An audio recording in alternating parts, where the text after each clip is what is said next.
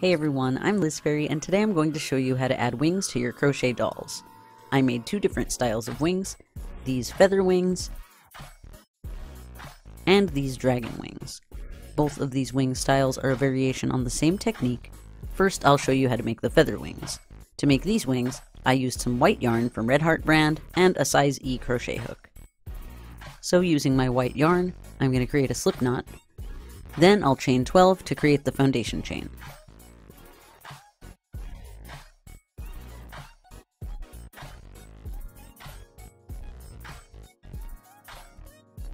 Next I'm going to chain 3 more and slip stitch into the third chain from the hook to create a picot.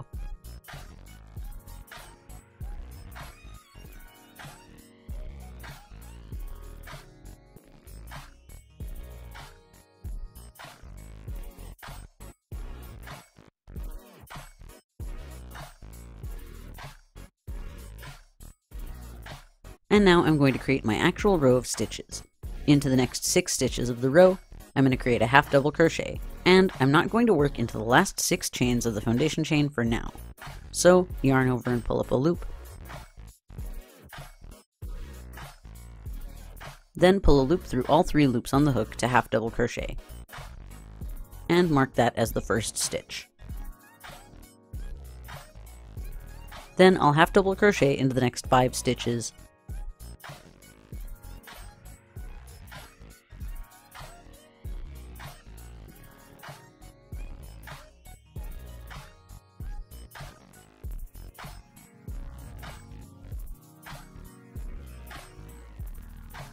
and mark the last stitch. Now into the next two stitches of the foundation chain, I'm going to slip stitch to begin the next row, and neither of these slip stitches will count as a stitch.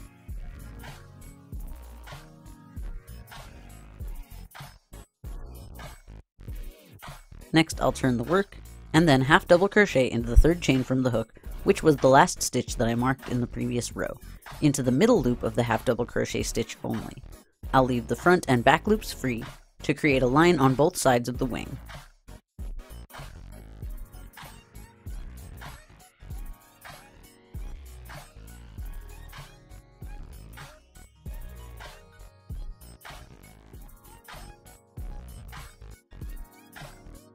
Then I'll mark that as the first stitch, and half double crochet into the next four stitches, again in just the middle loop.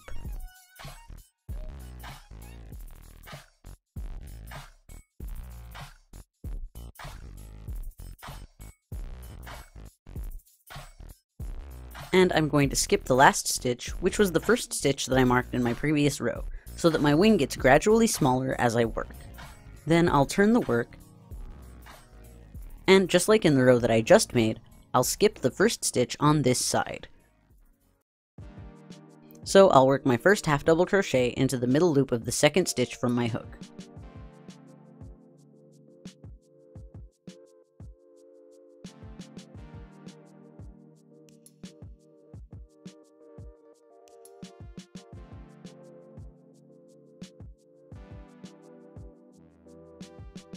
And mark that stitch as the first stitch.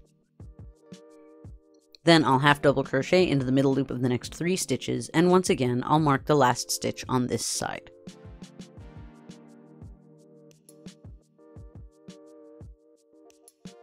Now I'll begin the next row the same way as before. I'll slip stitch into the next two stitches of the foundation chain,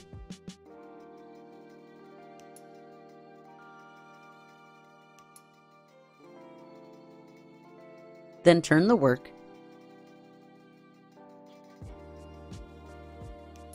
And half double crochet in the middle loop of the third chain from the hook.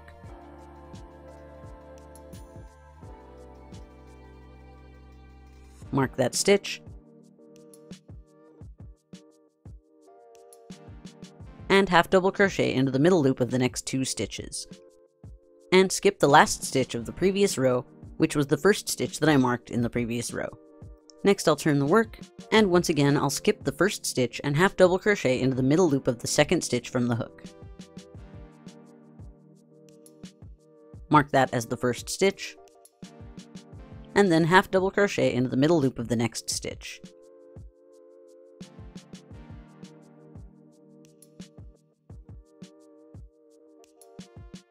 Now to begin the next row, I'll once again slip stitch into the last two stitches of the foundation chain. But instead of creating another row of half double crochet, I'm going to chain one and slip stitch in the third stitch from the hook and into the next two stitches.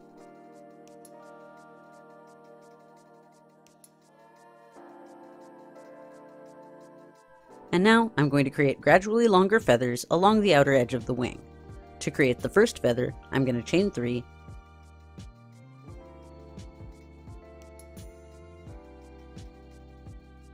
and then slip stitch into the third chain from the hook, and then slip stitch into the same stitch that I just chained up from when I started this feather.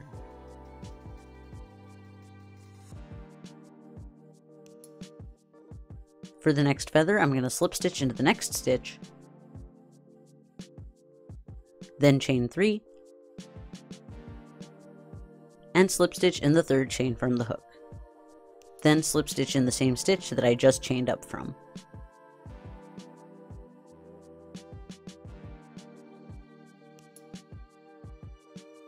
For the third feather, I'm going to slip stitch into the next stitch, then chain 4. And slip stitch in the third chain from the hook.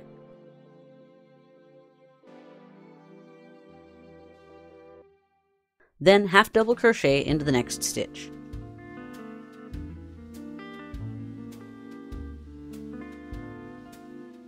And then I'll slip stitch into the same stitch that I just chained up from.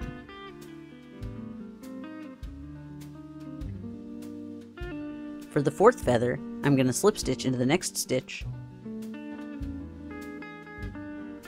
then chain 5,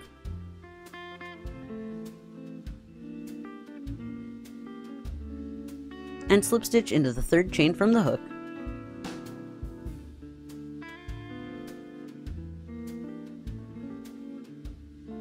then half double crochet into the next two stitches.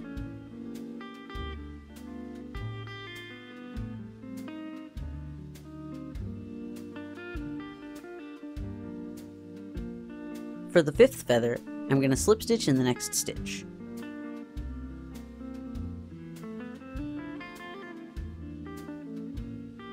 Then chain 6,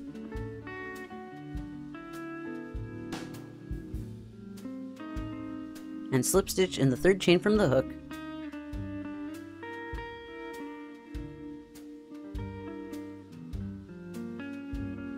and then half double crochet in the next three stitches.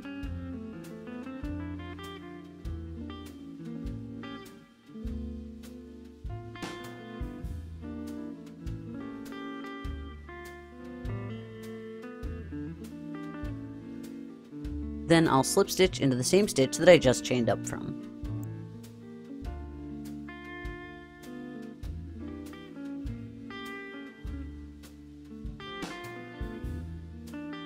For the sixth feather, I'm going to slip stitch in the next stitch, then chain 6,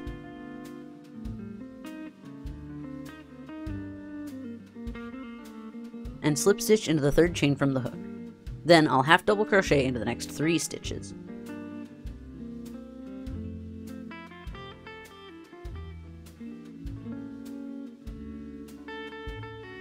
And then I'll slip stitch into the same stitch that I just chained up from.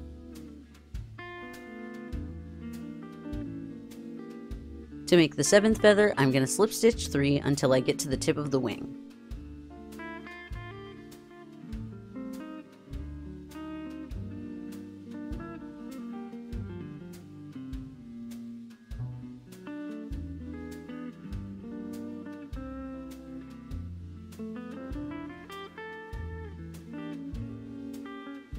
Next, I'll chain 3.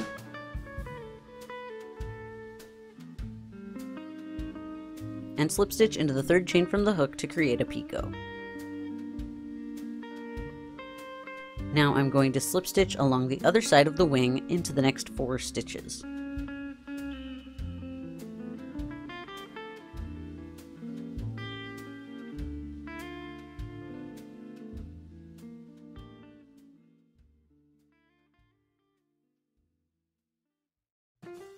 Then I'll create one more tiny feather.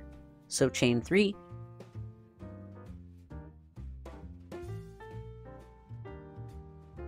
slip stitch in the third chain from the hook,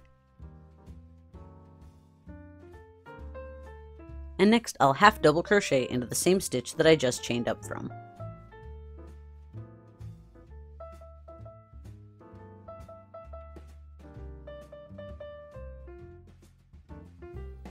Then I'll finish up the wing by slip stitching into the remaining 10 stitches of the row on this side.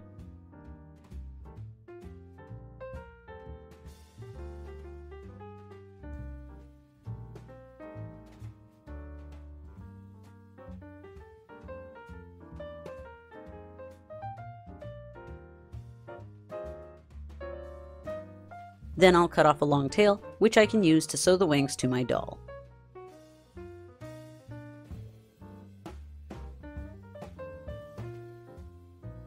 Next, I'll show you how to make the dragon wings. For this style of wings, I'll be using color changes, so I have two different colors of yarn here. I'm using red and orange yarn from Red Heart brand, and a size E hook to make these wings. Feel free to use any color that you like. So using my red yarn, I'm going to create a slip knot and then chain 18 to make the foundation chain.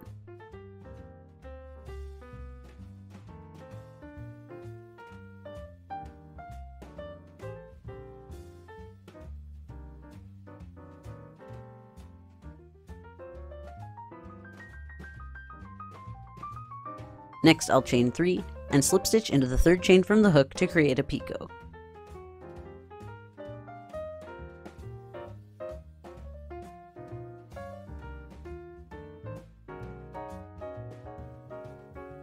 Then half double crochet into the next stitch.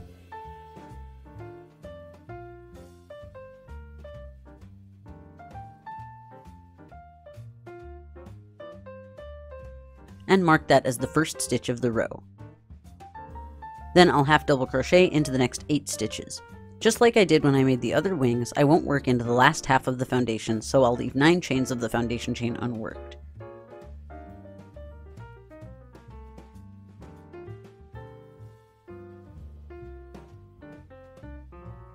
and I'll mark that last stitch of the row.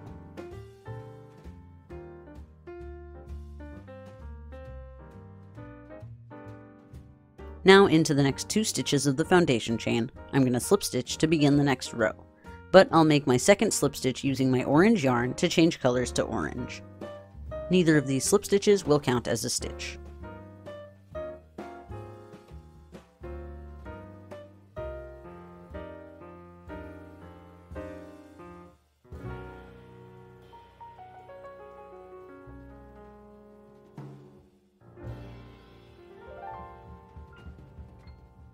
Next I'll turn the work.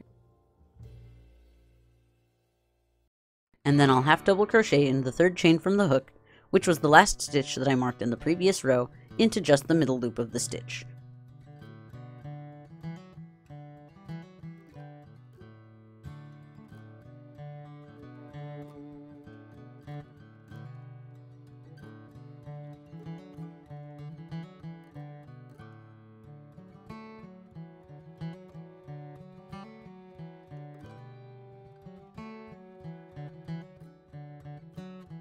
Then I'll mark that first stitch and half double crochet into the next 7 stitches in just the middle loop. I'll change colors after the last half double crochet.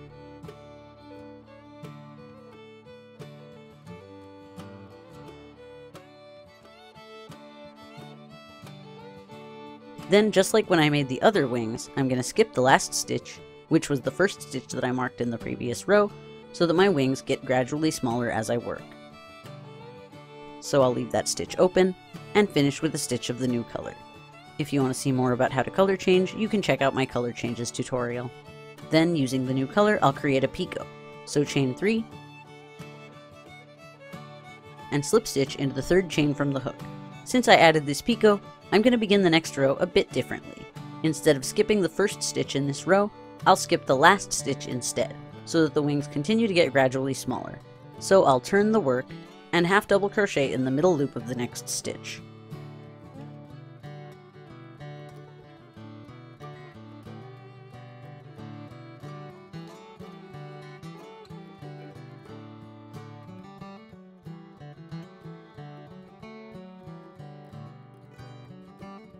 Mark that as the first stitch,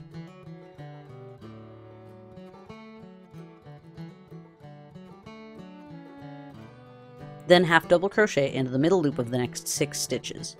Then I'll skip the last stitch that I made in the previous row.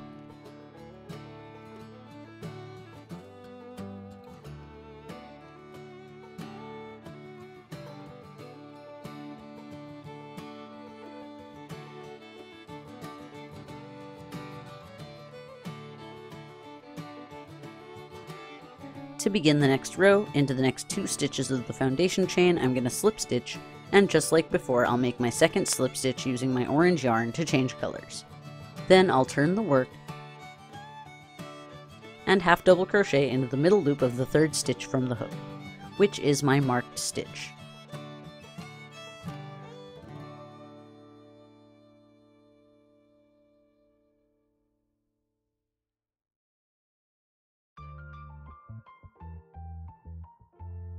And half double crochet into the middle loop of the next 5 stitches. Then I'll change colors after the last half double crochet,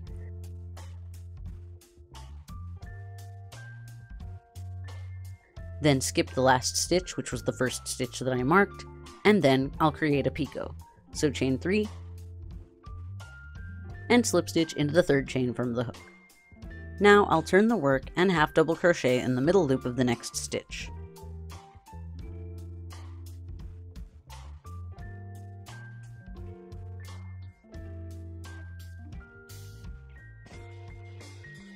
Mark that as the first stitch, and then half double crochet into the middle loop of the next four stitches, and then skip the last stitch that I made in the previous row.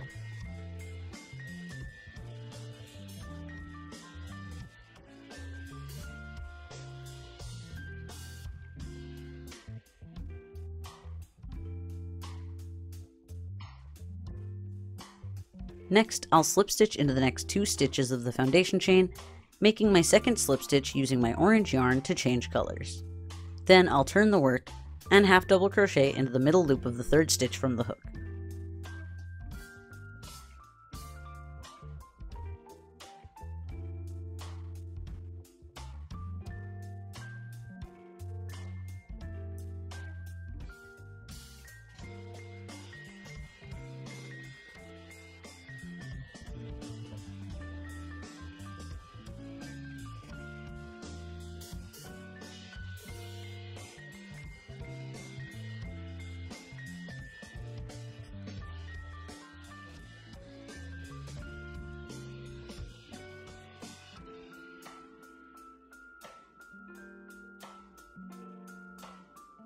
And then half double crochet into the middle loop of the next three stitches, and then once again I'll change colors after the last half double crochet.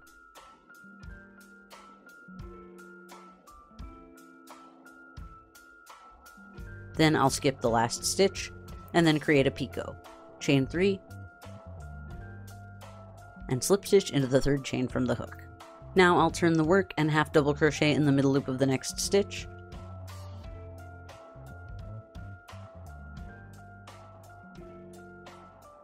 Mark that as the first stitch. And then half double crochet into the middle loop of the next two stitches. Then I'll skip the last stitch that I made in the previous row. Next, instead of beginning another row with two slip stitches like I was doing before, to create another row I'm just going to half double crochet into the last three stitches of the foundation chain.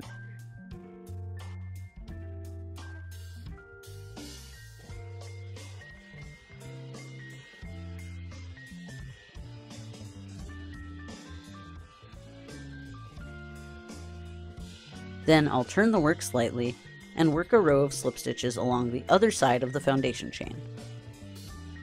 First, I'll slip stitch into the first 12 chains,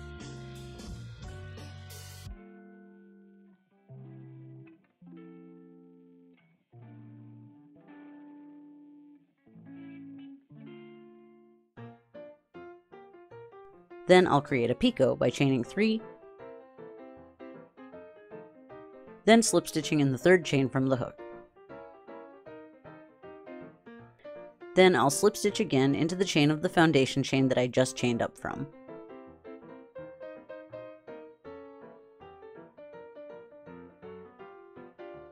And then slip stitch into the next 8 chains of the foundation until I reach the tip of the wing.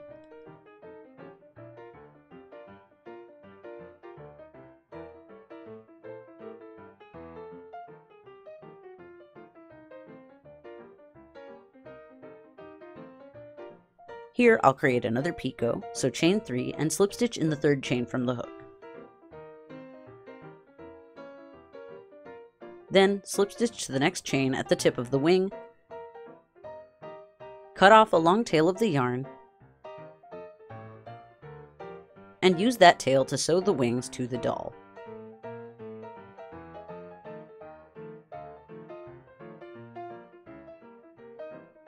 And that's it! I love the way both styles of wings turned out, and I'm excited to try making more winged dolls in the future.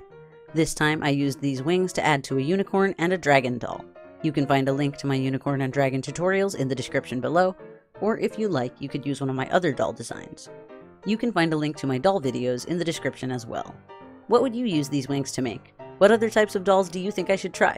Let me know in the comments. And as always, if you made a doll using this or any of my videos, I'd love to see your work.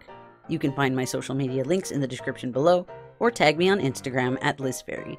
If you liked this video, you could press the like button or share it on social media, and if you'd really like to help out the channel, you can donate to my Patreon.